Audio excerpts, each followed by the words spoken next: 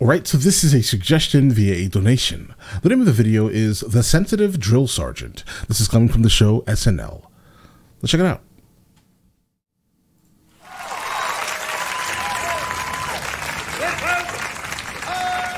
Yo, G, if I hadn't been in the army, I'd still be in the street gang today. What's up? Come Right. on, man. No way. Way, my friend. Ten-hut! What in the hell's name is going on here? This ain't no garden party. You're lucky I don't take you pukes out in the middle of the base and stomp your asses into the ground. Do you understand me? Yes, sir! Private Riley, what do we call ourselves? Soldiers, sir! Then act like it, you piece of crap! Wow! Now, the re- Guys, is that how it really happens? Let me know. reason I dismissed the rest of the platoon is to discuss a matter of extreme importance with you. Right. Recently, I started dating a rather classy lady whose company I enjoy immensely. Okay. but who I, for some reason, continue to keep at arm's length. I am unclear as to exactly how I am to proceed. Perhaps you have some suggestions. Do you think this is funny, Private Peterson? Drop and give me 20, you insensitive dog turd. Yes, sir. Do you need to be a NASA scientist to realize how uncomfortable I am opening myself up to you right now? Then why are you doing it? Bro, bro, why is he doing this? Maybe that's the problem right there, Sarge. Uh. Do you think we're having a comfortable little chat over a couple of beers at the Regal Beagle? No, sir! I'm not your friend, son. Do you understand? Yes, sir! If you have some thoughts on my situation, you address me as your superior Right. and not like one of your ass pals. Well, sir, you mentioned that the woman was super classy, sir. Okay. That I did, Private. Perhaps you feel that if you expose your true self to her, she might be disappointed, sir. Right. Well, look who joined the army. Private Freud. and what about my true self would disappoint her? Private Freud. How many people know you Bro, he's so close to his face. well enough to answer that question? Her. Private Freud. How many people know you well enough to answer that question, sir? Don't you get smart with me, son, or I'll tear your forehead off with my teeth. Wow. Perhaps a fear of rejection prevents you from being intimate, sir. Give me that advice again, Private Oprah. What is going Perhaps a fear of rejection prevents you from being intimate, sir.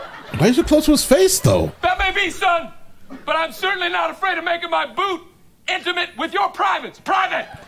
Permission to speak, sir. Well, wonders never cease. Bro, they're all just giving him like really good advice and he's yelling at him. Look, quiver lip, quiver lip, quiver, quiver.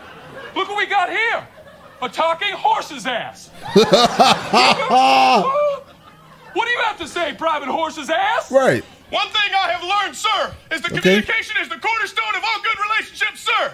My advice would be to communicate your fears to this woman, sir. Just how am I supposed to do that? Private Horse's ass?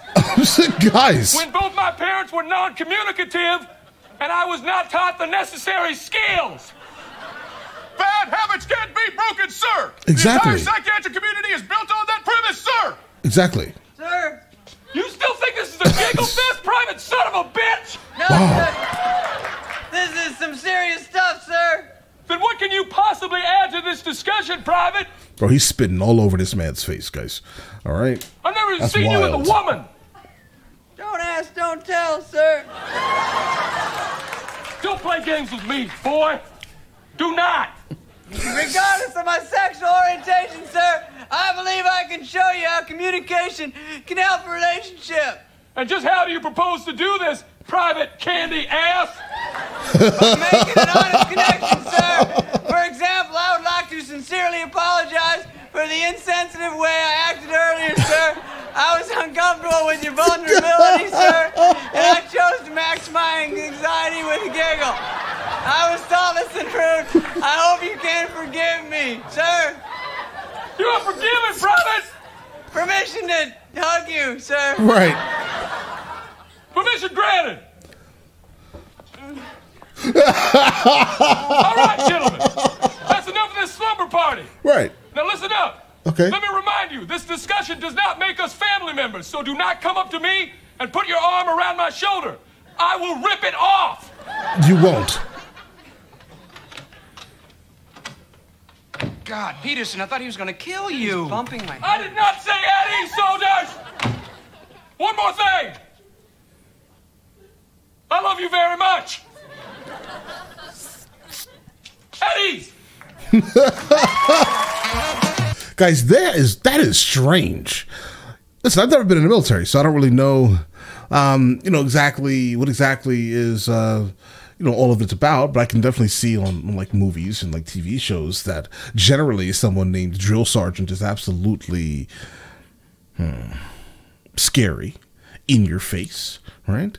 Um, all in your business. But uh, this very specific drill sergeant is very in touch with his sensitive side, and uh, great title for a sketch, guys. Absolutely, right? Uh, guys, let me know in the comments. Uh, the next one of these I should be checking out from SNL, and I will get into that as soon as I possibly can. All right. Listen, you guys all have an absolutely amazing day. Enjoy it thoroughly.